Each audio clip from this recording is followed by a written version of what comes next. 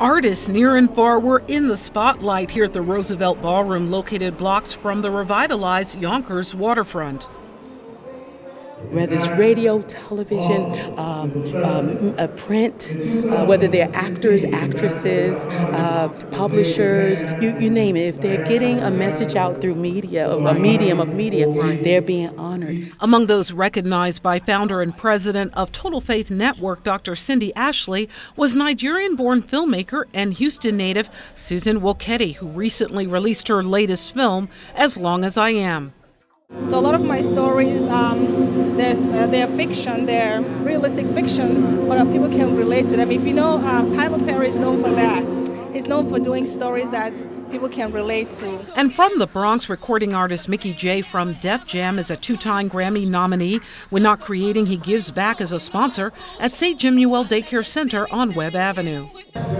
It's a blessing that I can go out there and inspire other people, uplift and empower other people as well. And there were many, many more, including Terra Renee, who 20 years ago founded African American Women in Cinema. I felt so strongly to push, and it is my dream that this can be a legacy that is left for those who are coming up behind me. Our target is to try to teach our second and third generation African Americans born here who do not know back home their motherland. That's honoree David Ofori, co-founder of Pan African Youth Leadership Academy. Meanwhile, Bronxite Donel Dinkins was there to offer business services. But I here um, representing Fix My Firm, which is uh, my, along with my partner, a uh, full service training, consulting, and communications firm. This evening's celebration is not just about the honorees seated here, it's also about paying tribute